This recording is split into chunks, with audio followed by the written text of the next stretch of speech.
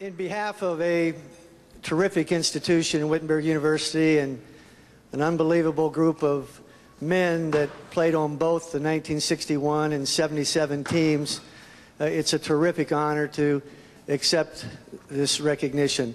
If I could have, I know Coach Ray Mears and many members of that 61 team, if you would please stand and be recognized.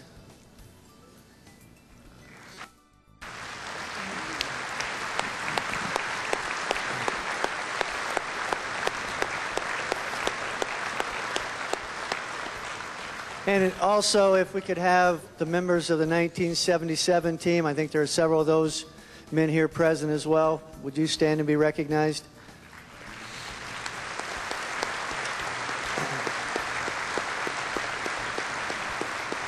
To the committee and Don and Doc, uh, it's an unbelievable thing that you are doing, and we're certainly very, very appreciative. Thank you.